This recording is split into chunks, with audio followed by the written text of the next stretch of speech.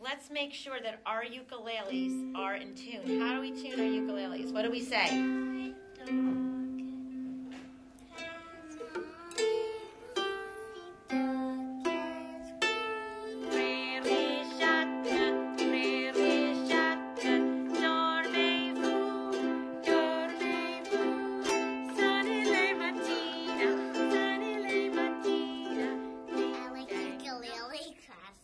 Because it's fun.